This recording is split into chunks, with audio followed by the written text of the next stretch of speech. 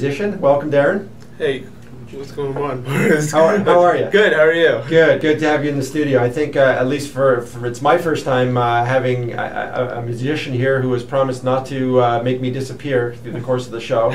Um, but we can't say the same for Steve. Steve, I think he, he may saw Steve in half and yeah. throw away the pieces. I probably should disclose that before you do it. No. A- anyways, Darren, it's a pleasure to have you on. Why don't you tell our audience a little bit about how you got started and what it is that you do? Yeah, absolutely. Um, I'm a professional magician. I've been doing magic for about a little over 12 years now.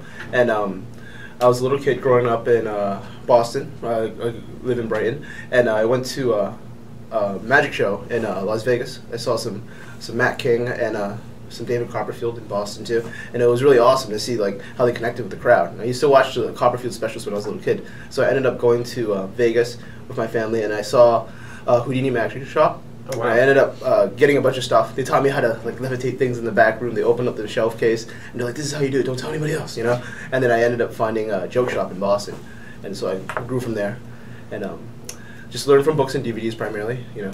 So, you, how long have you been performing it uh, live for audiences? Um, about eight years now.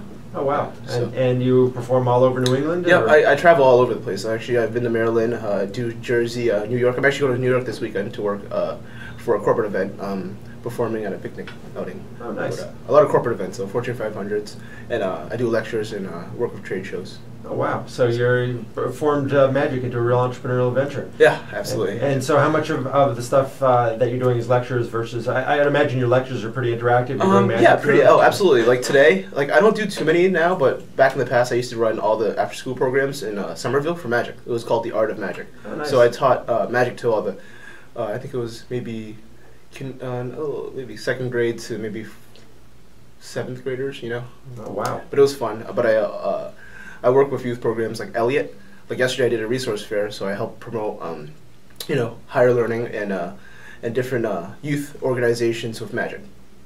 So it sounds like you knew from a very young age that you wanted to be a magician. I did, I did. Uh, it was tough because I'm going through the college and everything, trying to figure out where you fit in in life. You know, that's now, the tough part. Now, was it magic specifically, or was it entertainment or performance? What, um, what, what well, I was always, I was always a shy kid growing up, and it was really awkward. I was socially awkward uh, in high school. I would always shake, I would tremble. Like when the teacher would call up, oh, you know, it's time to do your speech, or even when they tell you to, oh, Darren, go read this little spot right here when you're you got the little book or whatever, I would tremble and I would stutter. It was so bad. But once I started getting into magic and I did a couple tricks and you saw how it interacted with people and how I connected with them, it was it was amazing. That was magic in itself. Oh wow! I so it really that. transformed your personality. Yeah, brought, it, it, it opened out. me up a lot and and I it actually taught me how to you know magic taught me how to like cold call people. You know, like I sold my business. I wanted to do it so badly that I would go into restaurants, sell my business, wear a suit and tie, like basically BS my way through and set up an interview with the people and work that restaurant, perform magic there weekly. Oh, wonderful. So, so you're really from the ground, from the grassroots, have developed this whole thing, and, mm-hmm. and uh, uh, you know, I think what's interesting is people don't always look at the arts and think of it in, in a business sense, but really you are an entrepreneur. I mean, you put bread on your table, so to speak. You've got to go out there and sell yourself. Yeah, exactly. And that's uh, how I pay my bills and pay for my car, student loans, and everything. Wonderful, wonderful. So, so um, has has most of the stuff that you've done, uh, and and I don't know a lot about magic, but I would imagine some of the stuff that you do is is sort of really tried and true, the things that have been around for generations, and they, they some of the other stuff you I develop mean, yourself. Oh, absolutely. I mean, magic all has a root and it has a foundation. If it wasn't for, you know, some of the stuff I might be showing later looks awesome, but if it go if you break down the moves and and subtleties, a lot of it dates back to you know very old times. You know, before like some of them go back to like 1700s. You know, and they uh, some of the, the earliest magic goes back to like hieroglyphics. They have you know pictures of pharaohs doing like cups and balls mm. in the day. It's really interesting stuff. Mm. So, can anybody learn magic tricks? Absolutely, yeah.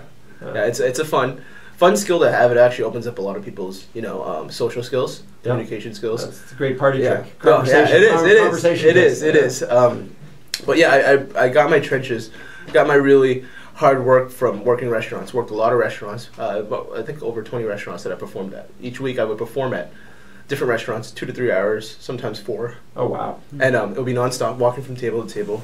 Uh, there's certain things in restaurant magic, such as not performing when they're eating. You know, right. when to approach a table. Not some etiquette. yeah, yeah, some etiquette, and not to be not awkward. to talk about their food too much. Pretty much, pretty much, and not to be awkward where you're going up to a table because when you're at a table, you're like, Who, who's this guy? You know, they think you're a manager or something like that. You know, so right. how to really get people to, involved. So, uh, what uh, I- I'm going to ask you some uh, sort of off off the uh, off the chart type questions in terms of. So, what what was the most challenging situation you've ever been in performing?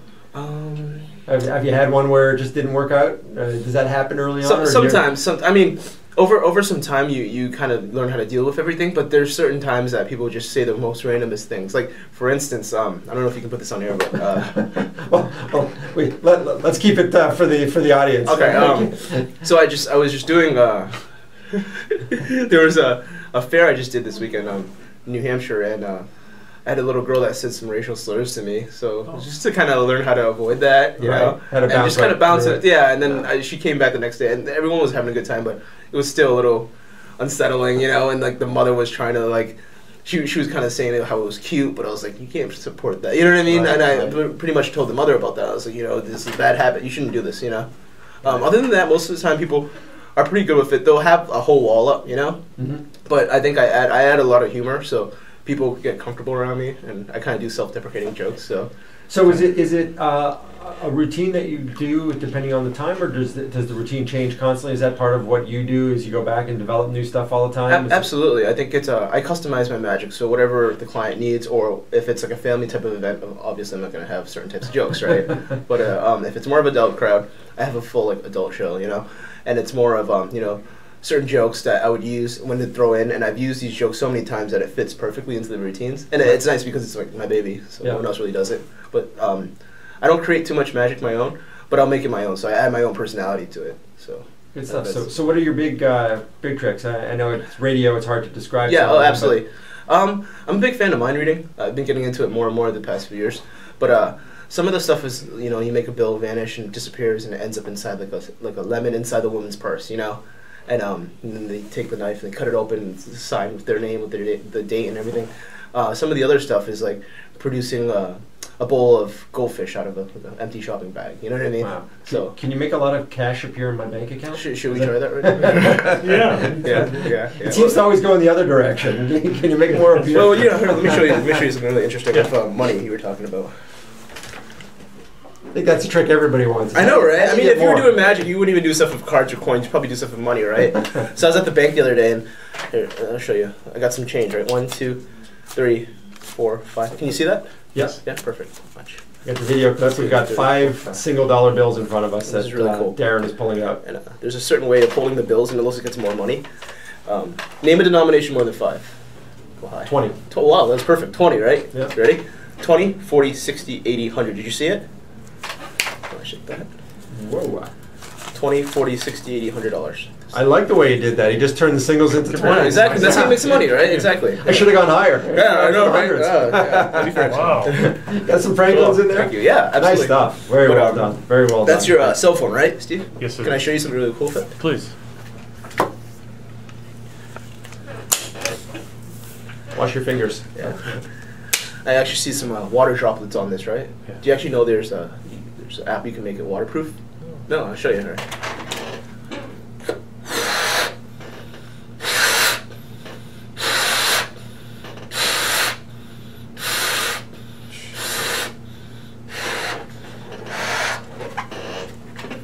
Darren has blown up a, a balloon in front of our producer Steve's cell phone. Yes. You can use my spiky hair. Because I wake up and it's naturally just like that, right? Cool. Well, see yourself. It's right inside, right?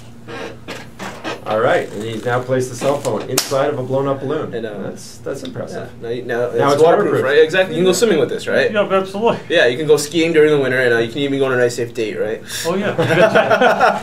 Very good. But, uh, just tie a little knot at the end. But in case somebody calls you, right? This is how you get it out.